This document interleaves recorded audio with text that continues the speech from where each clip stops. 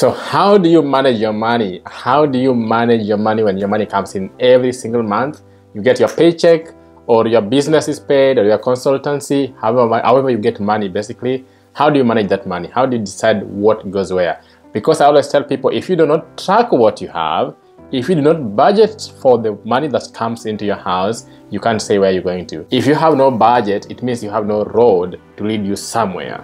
So a budget or what you call financial management system that you have in the house or anywhere else creates a destination for you. You know where you're going to and know which road you have to follow.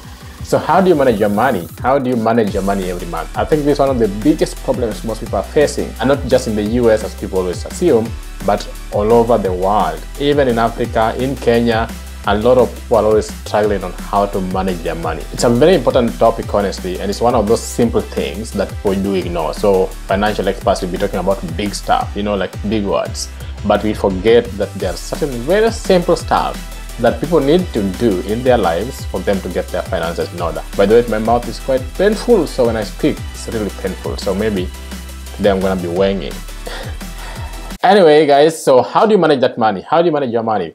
There is something we call the 50 30 20 rule and uh, it's just basically a way in which you can divide your money when it comes every single month.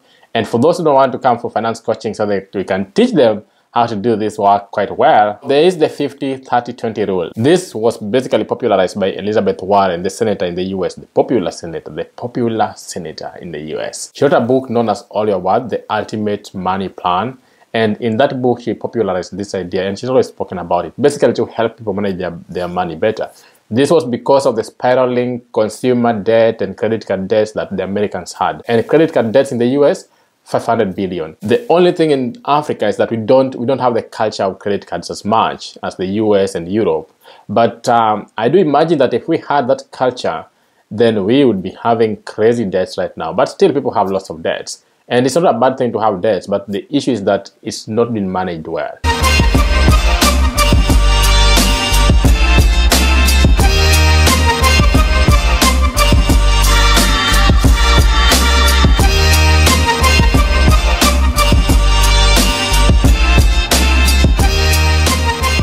Welcome to Ken's Money Matters, and here at Ken's Money Matters, we talk about the money mindset, how to make that money, how to manage that money, how to enjoy that money, how to invest that money, and how to assure yourself of a lifetime of consistent income. So let's get straight into it. And I just want to talk about money management. If you are new, please consider subscribing and like the channel, like the videos, so that you can help push this message and help with the YouTube algorithm. Thank you for doing that. So now let's get into this topic. How do you manage that money? And it's one of the smallest or the simplest topics that most people would ignore, but it's one of the most important. If you manage your money well, chances are you're going to build wealth. The process of building wealth is just about your money management. So if this is perfect and foolproof, you are on the right track. We have the 50 30 20 rule. How does it work? So the 50% is supposed to go towards your needs. And when I say needs, this is where people always get confused. What are needs and what are wants? I'm going to explain. Just give me a minute. Stay tuned. So the first thing, the 50 is for your needs because of course you have to live your life. You have to live well, right? And then the second 30 is for your wants. And then the third 20, which is the 20, is for your savings and investments or debt payment. So this is the way they are allocated.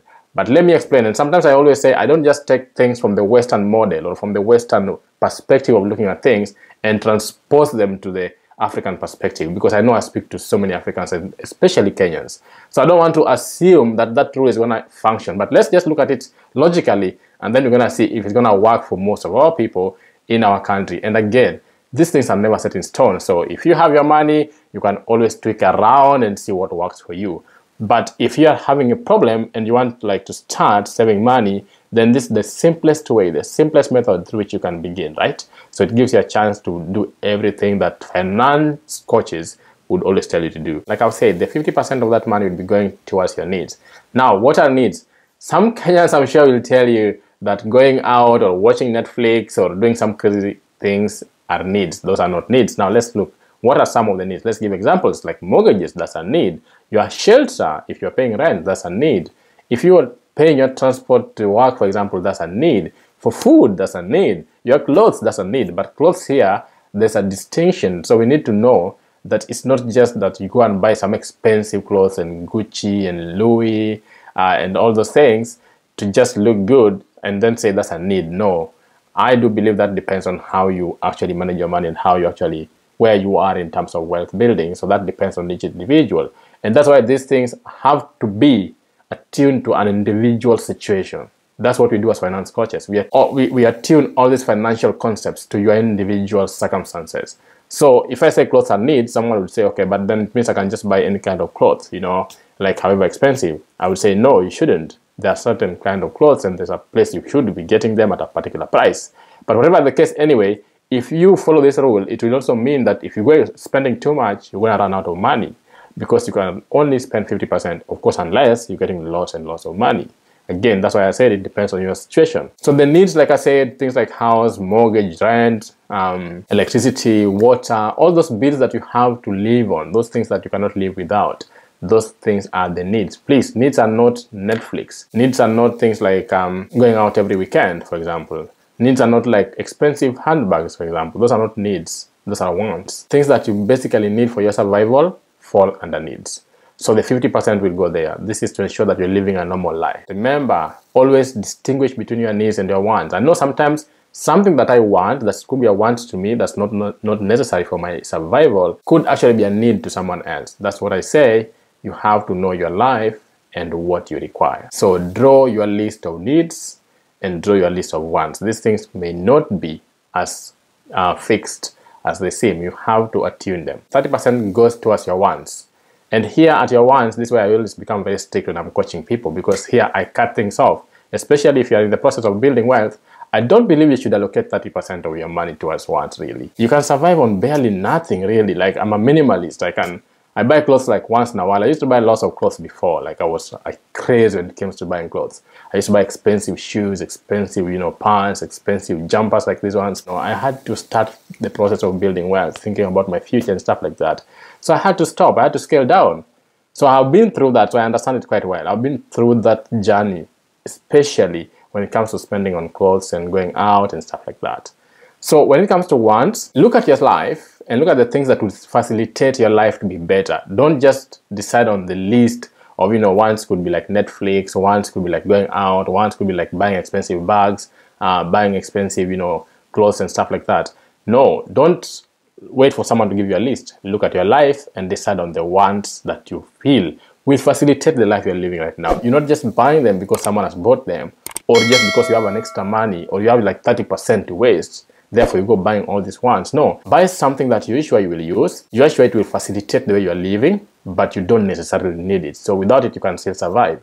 For example, people with kids buy lots of toys, you know, for no reason. So a kid will always play with a toy. After one month, they're tired of it it's now taken to the store and then you start buying a new one and these things become very expensive so sometimes you have to teach your kids how to you know deal with money think about saving think about you know keeping their stuff for a longer period of time reward them teach them how to be responsible and that's how you make sure that even your wants don't get to that 30% but if you want to follow this particular rule, it falls at 30%. So like I said, wants are those things that you can survive without, but of course sometimes you need them. Like a gym subscription, for example. Like I used to belong to a gym severally, I've belonged to different gyms, but now I work out at home since Corona happened really, and I've realized I'm now saving some few, you know, some few coins here and there, and I can work out quite well, I feel good.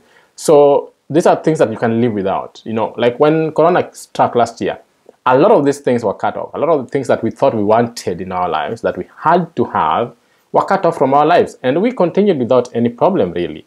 So again, like, like I say, just make sure that you actually attune your wants and know them exactly what facilitates your life. I hope that makes sense. And then the third one, which is the 20%. The 20% should now go towards your savings.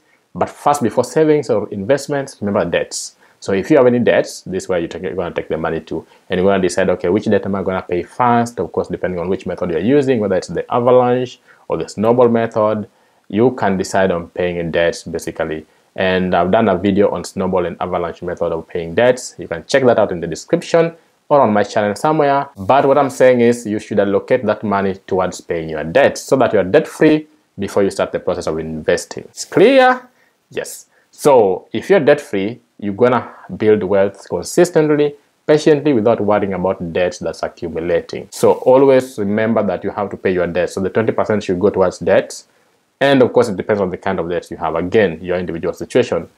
Then when you're done with your debts, or if you don't have any debts, then it should go towards your savings, your investments, your retirement planning, and all this kind of stuff. Again, depends on your individual situation, what you are going for, your objectives, your goals with regards to investing. I just don't transpose things from US or Europe and then tell my people, okay, this is what you need to do. No, I look at our situation, I look at our environment, I look at everything around us, and then I make sure that it matches that particular principle and how can we actually tune it and adapt it to our own environment and culture.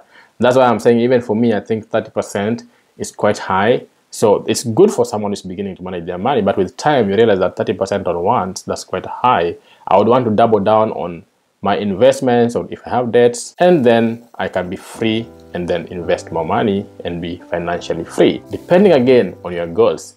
If you want to start that process, if you want to begin that process but you don't know how, remember, Ken's Money Matters, I'm available for finance coaching. And now we have a website. You just go there, you choose a plan, you choose whatever you want to deal with, we did with so many different stuff. We did with, you know, debt management, we did with financial planning, we did with financial management, we did with the financial health assessment, we did with relationships and finances, we did with finances in life situations like divorce and stuff like that. So if you want some advice that you feel is beyond the scope of a video, feel free to reach out, get to my website. The link is always in the description. Go to my website, see whatever is available see what you think fits your situation and then contact me and then we can talk about it you know and you will be on your way to building wealth. Always remember guys share the message and stay tuned for more videos to come. I see you next time. Bye